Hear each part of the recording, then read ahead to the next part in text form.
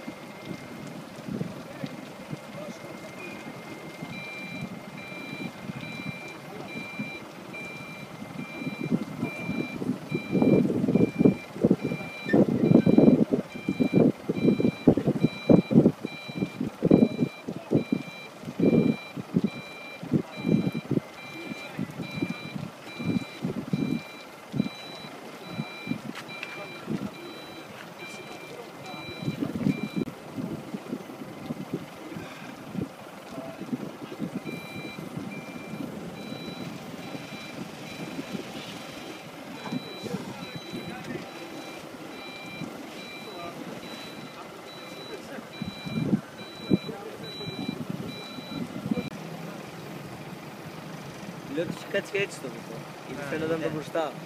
Ναι, το μπροστά ήταν πάνω.